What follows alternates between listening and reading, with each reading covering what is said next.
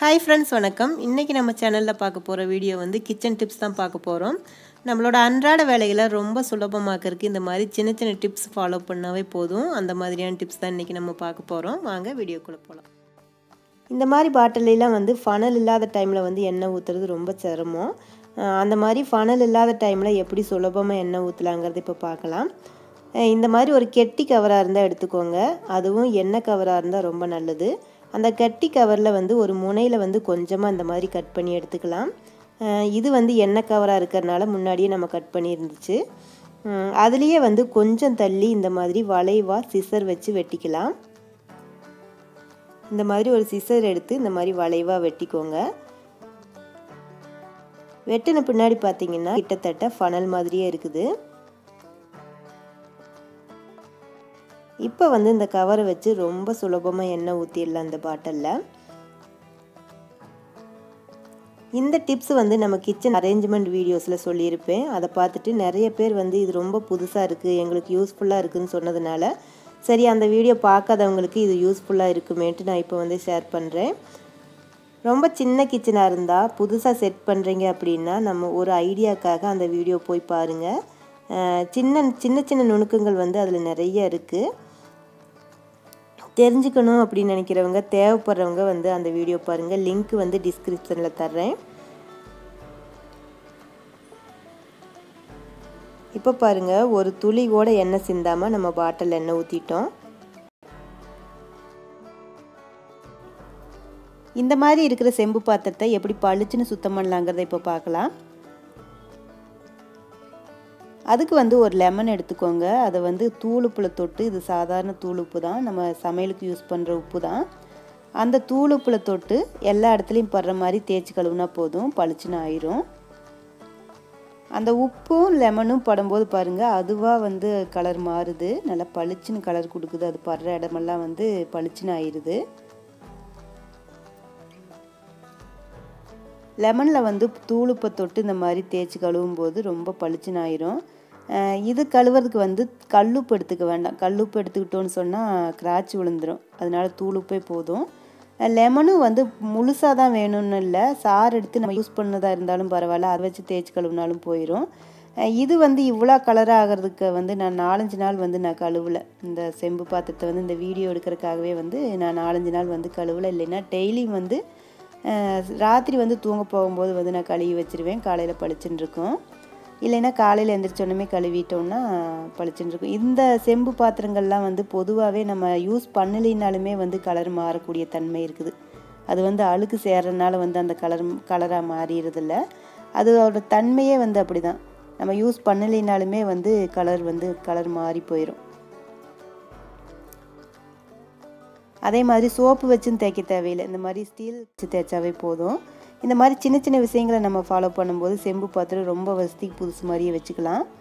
அப்புறம் வந்து எங்கள் வீட்டுக்கு வர விருந்தம்போது பார்த்தீங்கன்னா இது செம்பு பாத்திரமா? எங்கள் வீட்டில் இருக்கிறதெல்லாம் வந்து வேறு கலரில் இருக்குது இது வேறு கலரில் இருக்குதுன்னு கேட்டிருக்கிறாங்க அதனால் வந்து நிறைய பேர்த்துக்கு இது தெரியாமல் இருக்கும் போல் அப்படின்ட்டு தான் அவங்களுக்காகத்தான் இந்த பதிவு இது.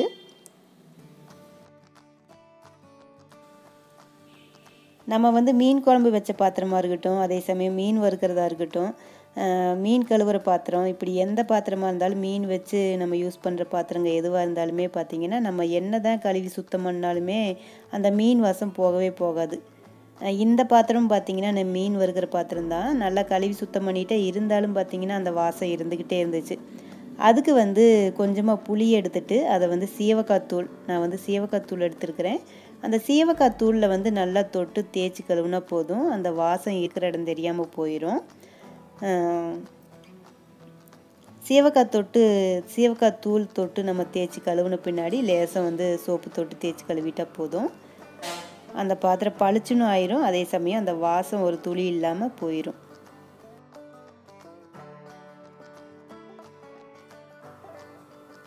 நம்ம வந்து பாத்திரம் கழுவுறதுக்கு வந்து ஸ்பாஞ்சு இல்லைன்னா ஸ்டீல் ஸ்க்ரப்பரை வச்சு தான் நம்ம வந்து பாத்திரம் தேய்ச்சி கழுவுவோம். அதெல்லாம் வந்து ரொம்ப நல்லதில்லைன்னு சொல்கிறாங்க அதில் வந்து நிறைய பாக்டீரியா சேர்ந்துரும்னு சொல்கிறாங்க ரொம்ப கெடுதல்னு சொல்கிறாங்க நாமெல்லாம் வந்து முன்னாடி காலத்தில் வந்து ரொம்ப இயற்கையாக அதுவும் ரொம்ப சுலபமாக கிடைக்கிற தேங்காய் மஞ்சி வச்சு தான் பாத்திரம் கழுவிட்டு இருந்தோம் ஆனால் அது வந்து காலப்போக்கில் வந்து மாறிடுச்சு நம்ம வேஸ்ட்னு தூக்கி போடுற அந்த தேங்காய் மஞ்சியில் நிறைய நன்மைகள் இருக்குது. அதை வச்சு வந்து நம்ம பாத்திரம் கழுவுறதுக்கு ஸ்பாஞ்சு ஈஸியாக ரெடி பண்ணிடலாம். தேங்காய் நாரை வந்து இந்த மாதிரி கொஞ்சம் கொஞ்சமாக பிச்சுக்கலாம். இந்த மாதிரி கொஞ்சம் கொஞ்சமாக பிச்சு எடுத்துக்கலாம். நம்ம டெய்லி யூஸ் பண்ணுற தேங்காயில் நம்ம வேஸ்ட்டுன்னு வந்து தூக்கி போடுற அந்த நாரை வச்சு நம்ம யூஸ் பண்ண போகிறோம் இந்த மாதிரி தேங்காய் நாரை வந்து இந்த மாதிரி கொஞ்சம் கொஞ்சமாக பிச்சுட்டு லேசாக கசக்கி விட்டு இப்படி உருட்டுனா போதும். நம்ம அந்த பாத்திரம் கழுவுற ஸ்பாஞ்சு மாதிரியே ரெடி ஆயிரும்.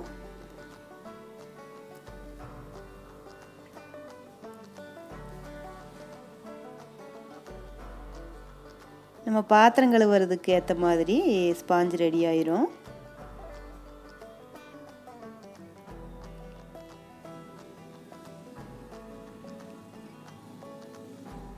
ரொம்ப ஈஸியாக அதுவும் ரொம்ப சுலபமாக கிடைக்கிற நம்ம காசு போட்டு வாங்க தேவையில்லை. அதுக்குன்னு வந்து காசு போட்டு வாங்க தேவையில்லை. அப்படி ரொம்ப ஈஸியாக ரொம்ப சுலபமாக கிடைக்கிற அந்த தேங்காய் மஞ்சி வச்சு பாத்திரம் தேய்ச்சி கழுவுனோம்னா ரொம்பவும் நல்லது. அதே மாதிரி பாத்திரம் வந்து நல்லா க்ளீன் ஆயிரும். ரொம்ப சுத்தமாயிரும்.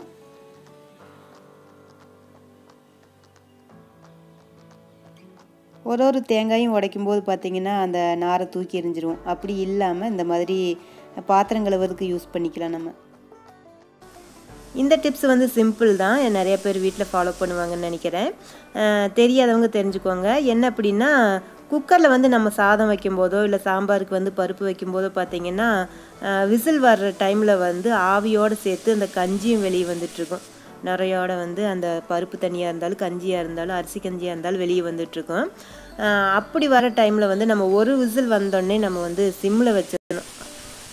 தீ வந்து ஹை ஃப்ளேமில் இருக்கும்போது வந்து கஞ்சியோட அந்த ஆவியோட வந்து கஞ்சி வெளியே வந்துடும் அதை தவிர்க்கணும்னா சிம்மில் வச்சுட்டோன்னு சொன்னால் அடுத்தடுத்து வந்து விசில் வரும்போது வந்து அந்த நுரையெல்லாம் அடங்கி வேகும். சீக்கிரம் வெந்தும் கிடைக்கும். அதே சமயம் விசில் வர்ற டைமில் வந்து அந்த ஆவியோடு சேர்ந்து அந்த நுரையோ கஞ்சியோ எதுவும் வெளியே வராது. இதை ஃபாலோ பண்ணி பாருங்கள் நம்ம வீட்டில் வந்து இந்த மாதிரி குட்டி குழந்தைங்க வீட்டு இருந்தாங்கன்னா கொஞ்சம் கவனமாக பார்த்துக்க வேண்டியதாக இருக்கும். ரொம்ப துரு துருன்னு ஓடி ஆடி விளையாண்டுட்டே இருப்பாங்களா? அதனால் நம்ம தான் வந்து கொஞ்சம் கொஞ்சம் கவனமாக பார்த்துக்கணும். எங்கள் வீட்லேயும் சுட்டித்தனம் பண்ணுற குட்டி குழந்த ஒன்று இருக்குது அவன் என்ன பண்ணுவான்னு பார்த்தீங்கன்னா கதவை சாத்தி சாத்தி விளையாடிட்டுருப்பாள் ஒளிஞ்சு விளையாடுறேன்னு சொல்லிட்டு கதவை சாத்த கதவு நீக்க அந்த மாதிரியே இருப்பாள் இந்த மாதிரிலாம் பண்ணி விளையாண்டுட்டு இருக்கும்போது பார்த்திங்கன்னா கை கதவுல மாட்டிக்கிறதுக்கு வாய்ப்பு இருக்குதுல்ல. அதுவும் நம்ம கிச்சன்லாம் மற்ற இடத்துலலாம் கூட கொஞ்சம் கவனிப்போம். கிச்சனில் வந்து வேலை செஞ்சுட்டு இருக்க டைமில் வந்து கொஞ்சம் கொஞ்சம் கவனம் குறைவாக இருந்துட்டாலும் வந்து கதவுல கை மாட்டிக்கிறதுக்கு வாய்ப்பு இருக்குது. அதை வந்து தவிர்க்கறதுக்காக வந்து அந்த கதவு மேலே வந்து ஒரு டவலை போட்டு வச்சுட்டோன்னு சொன்னால் நம்ம என்ன தான் இழுத்து மூடினாலும் வந்து கதவு மூடாது. குழந்தைங்க கதவு சாத்த கதவு நீக்க இருக்கும்போது வந்து முழுசாக கதவு மூடலின்னா வந்து கை வந்து க கதவுல மாட்டிக்கிறதுக்கு அந்த இதை வந்து நம்ம தவிர்க்கலாம். கொஞ்சம் சேஃப்டியாக இருக்கும்.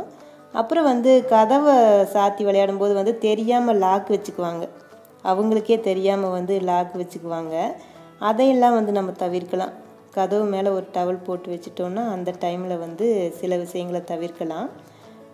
அப்புறம் வந்து மெயின் டோர்லாம் இருக்குது பார்த்திங்களா மெயின் டோர் வந்து காற்று வந்து டம்மு டம்முன்னு அடிக்கும். அந்த டைமில் வந்து டோர் மேட் எடுத்து நிலவு மேலே லேசாக படுற மாதிரி போட்டு வச்சிட்டோம்னா கதவு வந்து டம்மு டம்னு அடிக்காது. அந்த டோர் மேட்டில் வந்து கதவு மோதிக்கிற மாதிரி இருக்கும். இதை வந்து கொஞ்சம் ட்ரை ட்ரை பண்ணி பாருங்கள் குக்கர் வந்து வாங்கி கொஞ்சம் நாளாயிடுச்சு. கொஞ்சம் பழசாயிடுச்சு அப்படின்னாவே பார்த்தீங்கன்னா அந்த கைப்பிடியில் இருக்கிற ஸ்க்ரூ வந்து லூஸ் ஆகி போயிடுது நம்ம சாப்பாடு வைக்கும்போதும் சரி குக்கர் கழுவும் போதும் சரி கைப்பிடி வந்து ஆடிக்கிட்டே இருக்கும். அதுக்கு வந்து வீட்டில் ஏதாவது பசை இருந்துச்சுன்னா நான் வந்து ஃபெவிக்கால் எடுத்துருக்கிறேன். பசை இருந்துச்சுன்னா அந்த ஸ்க்ரூ நேர் விட்டு லேசாக டைட் பண்ணால் போதும். அந்த ஸ்க்ரூ வந்து பசை விட்டு அந்த ஸ்க்ரூவில் வந்து பசை விட்டு அப்புறம் லேசாக டைட் பண்ணால் போதும். கொஞ்ச நாளைக்கு வந்து நல்லா பிடிச்சிக்கும். இதை வந்து நான் அடிக்கடி பண்ணுறது உண்டு சாதாரணமாக டைட் வைக்கிறதுக்கும் இந்த மாதிரி பசை வச்சு லேசாக டைட் பண்ணுறதுக்கும் வந்து நிறையவே வித்தியாசம் இருக்குது. இந்த மாதிரி பசை வச்சு இந்த மாதிரி டைட் பண்ணும்போது வந்து கொஞ்ச நாளைக்கு அப்படியே இருக்கும். கைபிடி லூஸ் ஆகிறது ஸ்க்ரூ லூஸ் ஆகிறதில்ல கைபிடி ஆடுறதில்ல. வேணா ட்ரை பண்ணி பாருங்கள் இந்த டிப்ஸ் வந்து பிடிச்சிருக்கு யூஸ்ஃபுல்லாக இருக்குது அப்படின்னு நீங்கள் நினச்சிங்கன்னா லைக் பண்ணி கமெண்ட் பண்ணுங்கள் நீ அடுத்த ஒரு வீடியோவில் சந்திக்கிறேன். அது வரைக்கும் பாய் ஃப்ரெண்ட்ஸ்